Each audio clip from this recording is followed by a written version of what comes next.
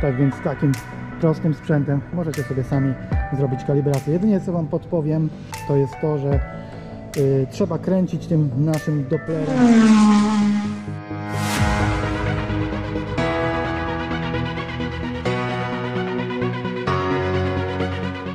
Cześć, witajcie w kolejnym odcinku.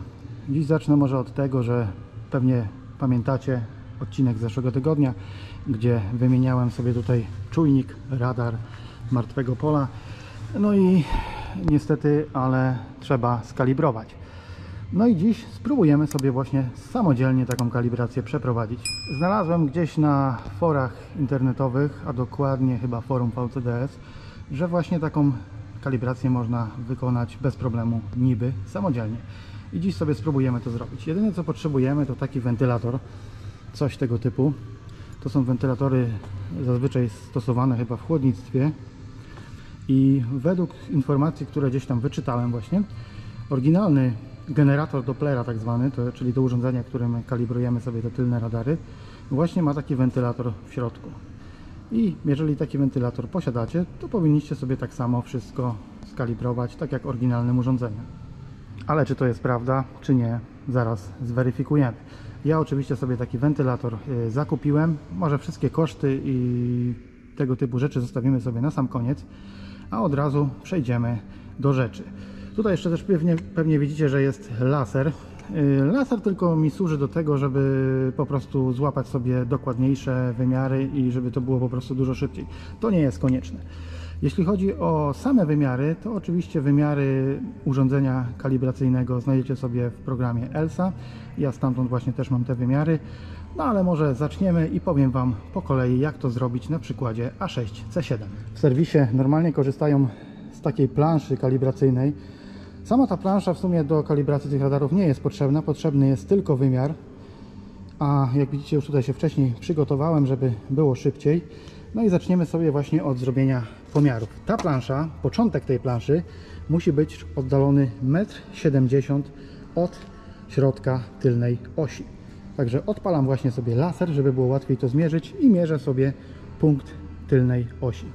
I musicie zrobić to najlepiej, tak jak ja tutaj to właśnie zrobiłem. Jak widzicie, laser sobie ustawiłem centralnie na środek, tutaj piasty, no i tutaj na dole oczywiście mam już wymiar. Tutaj sobie na razie nakleiłem taśmę i zaznaczam markerem, gdzie jest początek, żeby łatwiej było z tego punktu zmierzyć. I dokładnie analogicznie z drugiej strony. No i wymiary już tutaj mamy. Ja sobie jak widzicie położyłem takie tutaj klocki i obciążyłem, żeby po prostu przykładając później miarę, żeby mi się to tutaj ładnie dosunęło do tego momentu. No i teraz tak, y, plansza powinna być oddalona w odległości tutaj od środka, którego sobie zmierzyliśmy, 170 cm. Ale nie interesuje nas y, początek planszy, tylko koniec. Wiedząc, że plansza ma 50 cm, Także od razu możemy sobie wyznaczyć koniec, dodając te 50 do wymiaru 170, czyli na 220 robimy sobie tutaj pomiar. I gdzieś tutaj to sobie też zaznaczamy, oczywiście z jednej i z drugiej strony. Ja sobie zmierzę po prostu miarką. Dobry byłby do tego też dalmierz, byłoby jeszcze szybciej, ale nie mam, mam miarkę, także zmierzę sobie tutaj od razu koniec planszy, czyli 220 i sobie też tutaj gdzieś zaznaczę z jednej i z drugiej strony. O to mi dokładnie chodziło, żeby sobie tutaj po prostu dosunąć i dokładnie zmierzyć. No dobra, odległości mam już pomierzone, 220 z jednej i z drugiej strony. Jak widzicie położyłem sobie, a właściwie przykleiłem taśmą na sztukę taki płaskownik i to właśnie mi tutaj imituje planszę, a właściwie koniec tej planszy, bo tutaj ta krawędź nas interesuje. Jeśli chodzi o szerokość, to nie jest w tym przypadku akurat istotne i ważne, bo nie potrzebujemy wymiarów szerokości. Akurat plansza ma 190, ale to nie jest, tak jak mówię, istotne. Istotny jest teraz środek. Żeby wyznaczyć środek, musimy zamknąć klapę i laserem najlepiej wyznaczyć według znaczka Audi. Mam na myśli tutaj akurat to. I tutaj musimy sobie znaleźć dokładnie środek auta. I właśnie dlatego bardzo pomocny jest tutaj laser bo jak widzicie tutaj też nam od razu środek wyznaczy. Także po wyznaczeniu tutaj oczywiście sobie też zaznaczamy środeczek. No i teraz jak już mamy środek, to zaznaczamy sobie od razu w prawo i w lewo 79 cm, bo tyle akurat ma być w przypadku mojego auta. I tutaj po jednej i po drugiej stronie 79 cm i tam będzie stał nasz Doppler. Także zaznaczamy sobie to też. Teraz możemy sobie od razu ustawić wysokość naszego Dopplera. Yy, Ja jak widzicie, nie powiedziałem tego na początku, zrobiłem sobie samemu taki stojak do tego, żeby było mi łatwiej tutaj właśnie wszystko ustawić. I tutaj sobie muszę odkręcić tą moją rączkę i podsunąć tutaj o w ten sposób na 81 cm do górnej krawędzi Dopplera. Tu jest wymiar akurat do tego urządzenia serwisowego. To serwisowe urządzenie jest w takim pudle.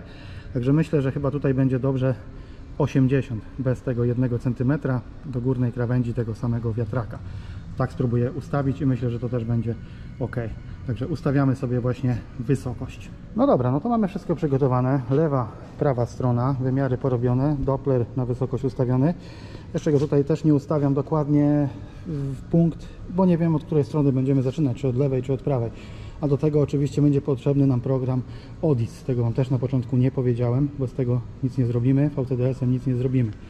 Także myślę, że teraz odpalę sobie program, przygotuję wszystko już w programie, no i pokażę Wam w programie, jak będziemy to kalibrować i czy w ogóle to się nam uda. Słuchajcie, ja tutaj Wam dźwięk nagram osobno, bo niestety tutaj znowu mi się coś popsuło przy nagrywaniu. W programie ODIS trzeba kliknąć tutaj po prawej stronie przycisk diagnoza. Po chwili pojawi Wam się powiedzmy, że takie okienko, wybieracie tutaj model, rok, wersja, silnik. Ogólnie ten program, nie wiem czy u Was, ale u mnie strasznie się muli, bardzo powoli tutaj wszystko działa. Trochę się tutaj naczekałem, żeby to wszystko zatrybiło. Tutaj oczywiście też Wam y, powycinam te momenty, w których y, czekałem, bo nie ma sensu, żebyśmy tutaj oglądali 15 minut, jak się coś ładuje, tak jak w tym przypadku. Tutaj jak widzicie powoli wszystko się ładuje, no ale niestety jeszcze trzeba czekać. Do tego też ten program y, w połowie, a właściwie pod koniec mi się wyłączył, także wszystkiego tutaj też nie będzie dobrze nagrane, ale zrobiłem Wam zdjęcia, żeby po prostu Wam pokazać, wytłumaczyć dokładnie, jak to mniej więcej tutaj wygląda wszystko. Także czekamy, aż się wszystko tutaj uruchomi, załaduje i uruchomimy wtedy procedurę kalibracji. Klikamy na sterownik właśnie asystenta zmiany pasa ruchu i tutaj wybieramy prowadzone funkcje.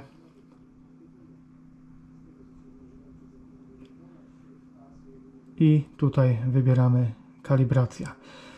I ten program w sumie prowadzi nas krok po kroku. Tutaj będą wyświetlały się teraz komunikaty, co mamy po kolei robić.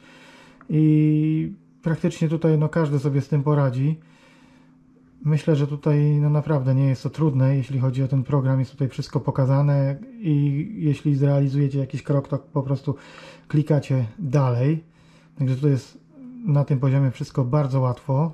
Zobaczcie zresztą sami, jak to tutaj wygląda.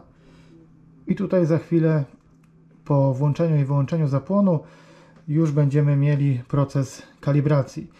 I ten proces kalibracji pokaże się w procentach, no ale poczekamy jeszcze chwilkę na to.